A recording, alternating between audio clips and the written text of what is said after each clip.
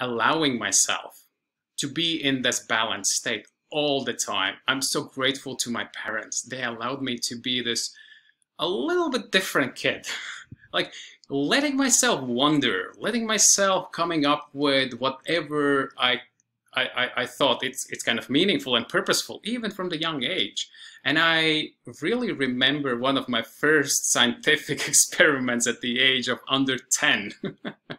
so we were this family uh, living in the countryside and uh, going to forests to pick up mushrooms and berries. And uh, I was um, much more, I don't know, willing not to pick up anything particular because it kind of was a hard work for a kid under 10 years. And I was observing trees. So I was seeing the differences. I was saying, oh, these trees are healthy. They are having all the leaves and branches and everything. But there's some of the trees are look like they are getting old. Some of the skin peels off. Some of the branches have already broken down and some the, the leaves are not there. And I thought, oh, but there are these other trees already on the ground. So that means that's a part of the nature. Nobody told me this. I was observing it, okay? And the trees will fall eventually. And I thought, if I can try to help them, like before they kind of fall themselves, I will just, okay, we'll help them before a little bit. and then I realized, but not all of them are ready to fall. So there are some trees that are ready, some of them are not. And then what I was training, I was training my ability to predict and assess from a distance, just for the observation. Would I able to catch some tiny details that this tree makes a difference? And then I would say, okay, this one I, I can get down and this one I cannot. And I just got better and better every single time. So again, this comes with the feeling the experience and then aligning that experience with what resonates with our biology and all of the way of our being. And then later, I was uh, open to new things coming in. I was allowing them. And to some degree, I was looking for those. And I was looking for something that would be beyond the convention, beyond what everybody else is doing. I will skip forward to my master degree uh, or my first university. And that was the time when computers were just arriving to our living space and working spaces. And I was lucky to get to the one particular competition and I got the particular result and I was admitted at that time to the computer science, which was now many years ago. So, and it took me on this journey well okay we can build technologies to help us. And then later i got to the revelation we can build computers and they work or they don't. But i got bored with it because it's like you, you, you get this process oriented uh, thinking. But i became very early interested into the human subjects. So even at the computer science master i was predominantly selecting subjects related with psychology philosophy economics, all those management uh, topics. And then right after I got into the manage other people, and then I got to go and and give uh, like take an MBA uh, degree. So I did that, and then I was spending a nice career, evolving step by step, multinational IT companies, business development, customer relationships, sales management, and I was combining these two, like human factors and IT evolution and all of those things. But then, to some degree, I was um, realizing the question arrived to me. And this is one thing I can tell to anybody. If there's a question coming to your mind, for the most of the cases, there's an implied answer. So my question was after long career, two master degrees, the question was, am I happy? so if the question arrives, if I were happy, the question wouldn't appear. So the question was no, and I was like, okay, what would make me happy? So looking at the Eastern philosophy, it says you're happy if you do the things you love the whole day. It's just like kids are playing. I was like, oh, what would be the thing that I love? And at that time, I was like, okay, people, technology, people, technology, I don't know, let's ask Google. So I throw into the Google, I found this way of designing technologies to help people change, realizing that so many people want to change and I went to do my PhD. And that was the most impactful decision on my life because ever since, for the last already almost 10 years, I'm been fulfilling my life with doing exactly that.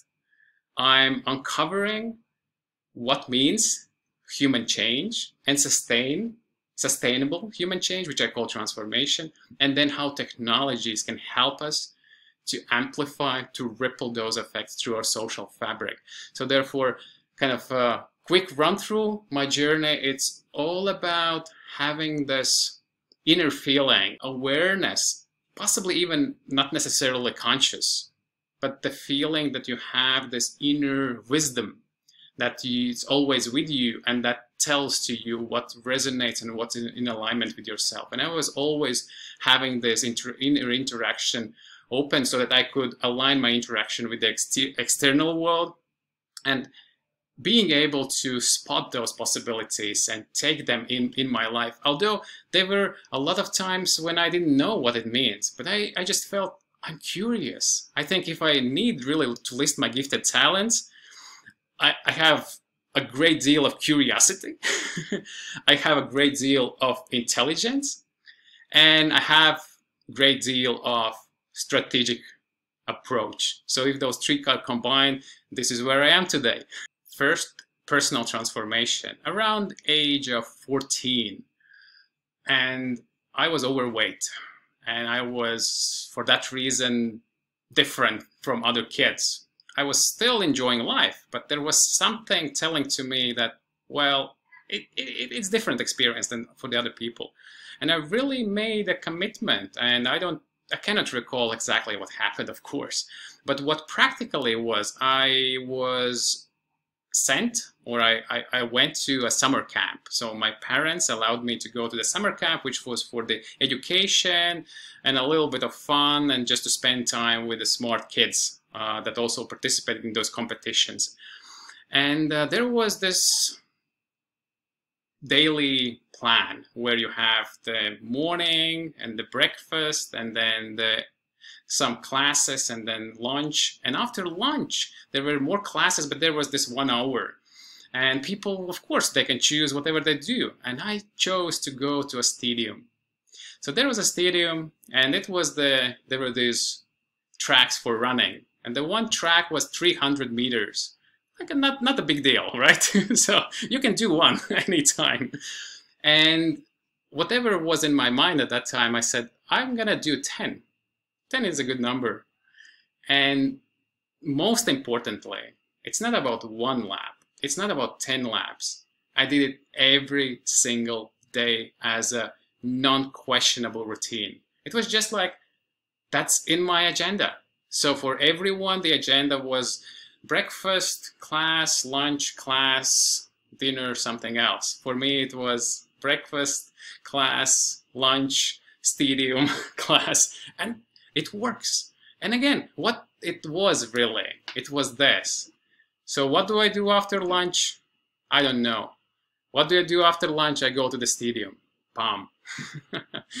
and uh, it just came to the obvious results. I luckily had this. So my parents whizzed me after three weeks, and my shorts wouldn't be on me if I didn't have this hold, like like holding them. And and that was something I think subconsciously was installed in my body. Not as it wasn't before, but it was installed consciously as an experience. Of course, all of we have that power, but then it was confirmed and validated. And I think ever since I'm tapping into it whenever there is a real concern that I would like to address. So later, I played ice hockey and I was in a good shape, but then some trouble can happen and I got my leg, ankle broken in a game, and I was off the sports. My weight came back, and I had to figure out a different way. And then I asked with my uh, to my fr good friend radiologist, uh, "What do I do?" He said, "Now there's the other way how you can manage your weight. That's about look what you eat." And then he said, "You have two options. You control the amount, or you control the content." I said, "Oh, amount? No, no, no. That's sacred. No, no, no." Okay, then we go with the list, and then you have only the foods on the list. The other things disappear from the world. They don't exist. You don't see them. And that's what actually happened. So I was constantly following the list of the foods that I eat. And over the time in a grocery store, some of the shelves disappeared. I didn't see them. Like sometimes people are blind to the advertisements or stuff like that. The same happened with me with the eating. I don't see it. Sometimes I go to a party and there's this table with everything. I don't see cakes. I don't see some kind of sweet things. And it's just not, not, not in alignment with myself. So therefore, all of these tiny experiences, and I'm always suggesting start with a small thing and get the confirmation, get the validation that you have the transformation gene, get some energy to it. Like just because you have the access to energies, just redirect some of the energy to activate your transformation gene and then enjoy the magic. Once you start one tiny thing, second tiny thing, third tiny thing, you just gradually become an upgraded person, a person who is mastering the transformation. I'm just so confident because I've my, my own experience tells that I've been seeing other people using some of the tools and really enjoying that and seeing how that works. I am the only barrier for my own happiness and fulfillment. And that realization is fundamental because predominantly the bias, the delusion is that happiness is outside and we need to capture it. We need to do something for it. We need to grab it. And that's also when we are kind of now closing the loop, coming back to the human energetic intelligence, and we are not accumulators. We cannot accumulate happiness. We cannot accumulate fulfillment. It's our state.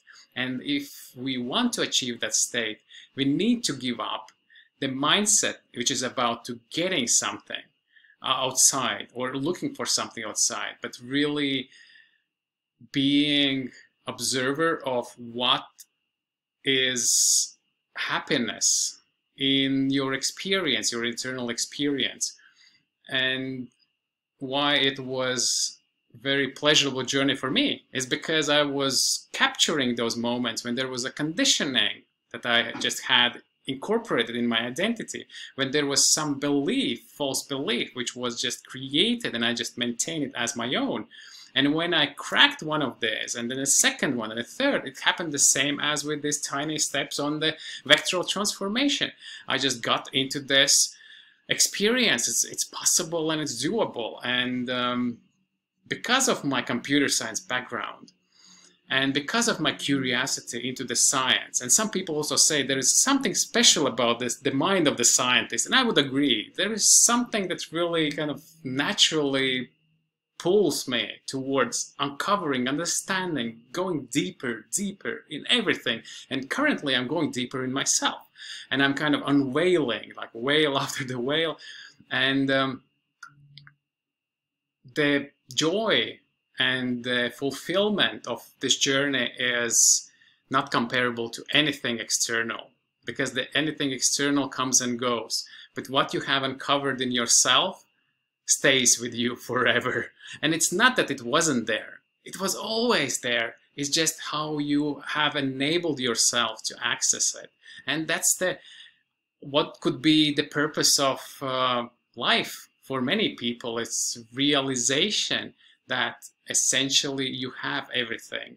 And it's just that for some reason, for whatever reason, that essential fullness and completeness has been distorted and has been damaged by the delusions and uh, still are and maintained by so many other external factors is just a construct.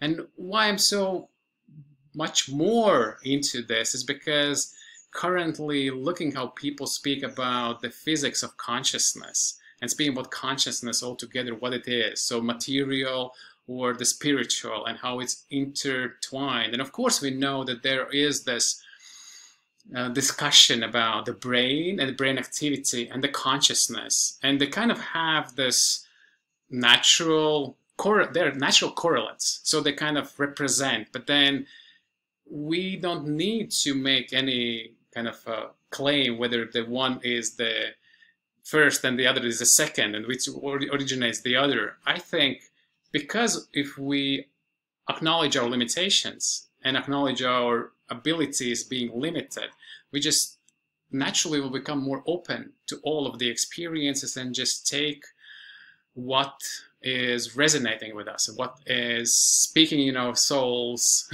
language. And um, that's the way how most of the life challenges will naturally disappear because I think those are the byproducts. So global challenges are the byproducts of poor decision making and poor collective decision making on the on the country scale and then city scale and then we, we scale down to individual. The same applies. We make decisions every day and if those decisions are driven by delusions and biases and not in alignment with the true nature that's the outcome what we get. So people are the, the delusionally looking for mysterious happiness and avoiding the one that they have all the time. And i've just um, cannot say anything else but you start doing it and you just have your fulfillment and enjoyment on this path for the rest of your life. And that's uh, will be always with you no matter what. If anyone wants to find anything about my work there is just one gateway and it's the website transforms.me and you can get everything and anything of my work and also get in touch with me